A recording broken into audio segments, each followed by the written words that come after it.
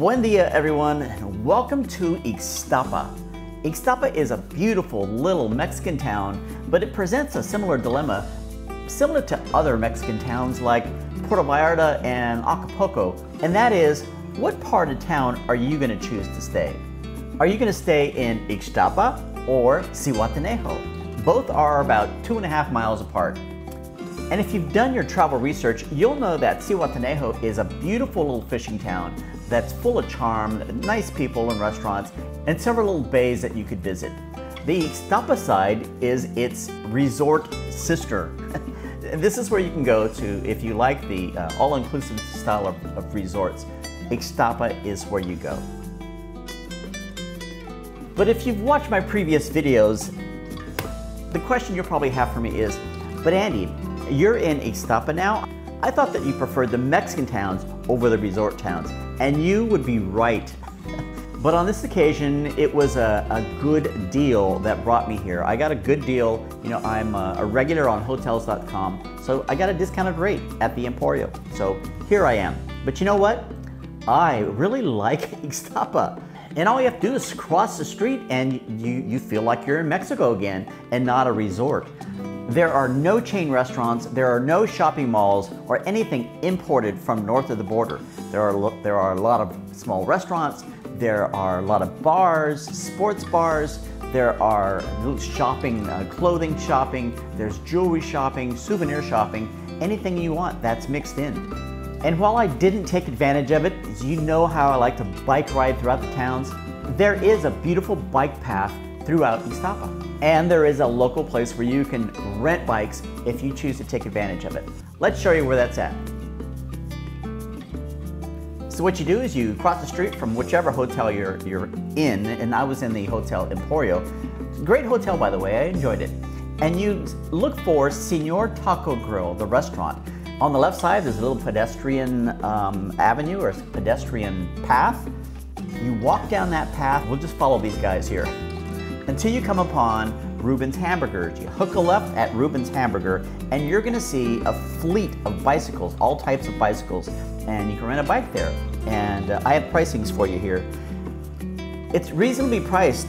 For one hour, you paid 100 pesos, which is roughly about three, uh, $5.30. And for just 20 pesos more, that's about a little more than a dollar, you get it for two more hours. So for three hours, it's 120 pesos, $6.40 total. But if you need it for 24 hours, you're gonna pay 300 pesos for about $16. For the entire day, I, would say that's not too bad. What I enjoyed the most about Ixtapa was the beach. Yeah, I like to um, I like to walk on the beach. I like to jog on the beach. I try to do it as much as possible. It's really good on the calves and it exfoliates your feet. If you got a little dry skin going on there, walk on the beach bit. In terms of walking and jogging, the beach will, it's as long as you need it to be. But the consistency is, the sand is what I like. It's nice, firm, you don't sink too much into the sand. So many of the tourists walk that beach. I've never seen so many walkers on a beach than I have in Ixtapa. And it's not overly crowded. There's enough beach to go around. It's wide, so there's plenty of room to fit everybody. And if you walk down further enough, you're gonna see a number of uh, ladies and guys all dressed in white, waving at the passersby. So I had to walk down far enough to ask what's going on there. They offer massages. And just behind them, there are several little huts. I wasn't really interested to look inside what these huts look like, but that's where you get your massage. The price they're, they're charging was 300 pesos per hour, uh, but if you only had American dollars, it's $20. So um, take pesos with you. The exchange for 300 pesos is about $16, but if you only have dollars, you're gonna pay $4 more, $20. They did say that they would go to your hotel to, if you didn't want to use the little shady looking booths that they had to offer there. So when it's time to head over to Zihuatanejo, um, all you need to do is go out to the, the main road again, catch one of these little vans, little Humvees, or uh, a larger bus It's only 14 pesos, and it, will take you 20, 30 minutes um, because they're making stops along the way to get to Zihuatanejo. They will drop you off on Calle Cinco de Mayo. That should be easy to remember. And you have to walk down a little bit to get to the beach area of Zihuatanejo. But there are a lot of shops, if you're interested in shopping for souvenirs, uh, that you will pass through. Before moving on to Zihuatanejo, there's a couple of um, milestones that the Timeless Travel Club has reached. Uh, so there's a couple of, of, announcements that I would really like to make. First off is I'm in the month of February now, and um, with February brings my one year anniversary. I've been traveling and showcasing Mex Mexico for one year now. So yeah, it's been a long haul. That means a, a, lot of hotel stays, a lot of Airbnbs, a lot of miles walked on these chanclas. It's a lot of margaritas sampled, a lot of stray dogs pet, and um, it was all worth it. So um, everybody who has watched my videos up to this point, throughout that journey, thank you so much. The second milestone is I have surpassed the 1,000 subscriber mark. Yay, me! One of my old friends was actually um, congratulating me on my 1,000 subscriber, and I thanked him. I said, you know what? Thank you for, for being one of those subscribers. And he says, I, I haven't subscribed. You what? You you watch my videos? He says, yeah. Every time you post it on Facebook, I just click on the link and, and I watch your videos there while that's awesome, I realize that there's a lot of people who watch my videos who uh, may not have the need to subscribe. So I'm gonna go over, I think there are eight ways I counted that you can help support the Timeless Travel Club without spending a red cent. So here's your countdown. First, the first one on the list is to watch. So if you if you're here, thank you so much.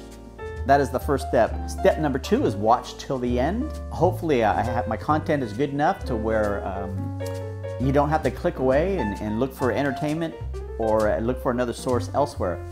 By the way, these eight steps, they're primarily meant for that core bunch of people who follow me, follow me maybe because you know me, maybe your family, maybe uh, you are a um, ex-fellow coworker, or maybe you've just picked up on uh, my channel early on and you've followed me since.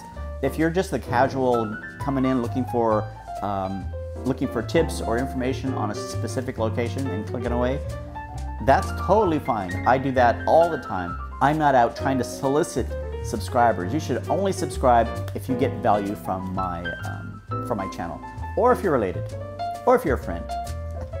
the obvious ones is to like the video if you like it.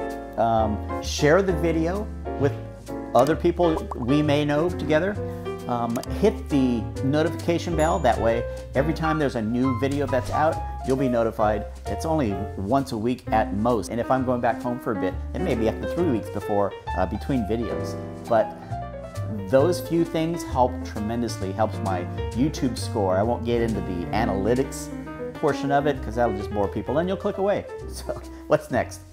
When I say subscribe, some, some people that I know say, well, I'm gonna get all my kids, they watch YouTube, I'm gonna have them, all them subscribe to you that's not going to help me because they are going to get bored with this type of video more than likely and they're going to unsubscribe a day away a week down the road and that does not help my youtube score so um, i don't want people who genuinely genuinely want to watch the video to subscribe after that comment. I answer all my comments. In, in, unless I'm in an area that, that lacks good internet coverage, um, it may take a while, but yeah, you know, when I get bigger, maybe 30,000, 40,000 subscribers, I may start to snub some subscribers for comments.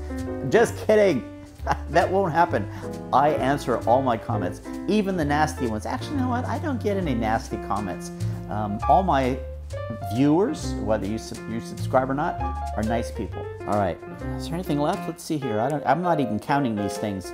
Comments, I think that pretty much covers it. If that was seven, if that was eight, it's all good.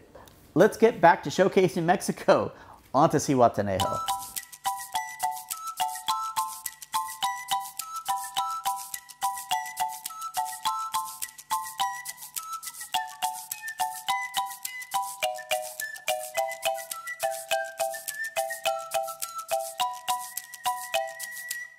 I spent much of my time while in Zihuatanejo at the Playa Principal, right in the main area of town. But there's a lot of other popular beaches like Playa La Ropa, Playa Las Gatas, which are also very popular beaches. The nice thing that I liked about uh, Zihuatanejo is they did a very good job in allowing you access to all these beaches. It drives me crazy where some cities, the hotels take over and they make certain portions of beaches exclusive for their members. Not in Zihuatanejo. You have, for the most part, along Playa Principal, a nice, even walkway to walk around from beach to beach area. As you get further, you may have to walk onto the beach to get to the other walkway, but it is a nice walk back and forth. I wish I had explored more. I will explore more the next time. Yes, there will be a next time uh, because Zihuatanejo and Ixtapa is a place that I truly enjoyed. So I'm gonna let Zihuatanejo do the rest of the talking for itself because it is so beautiful.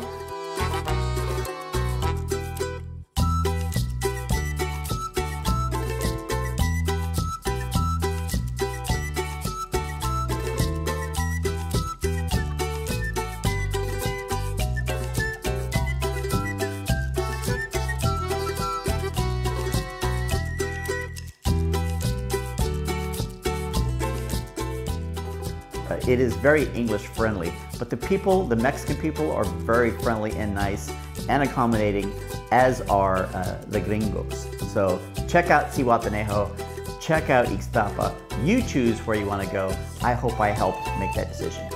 All right, until the next time, I am on to Acapulco and a happy one year anniversary to the Timeless Travel Club.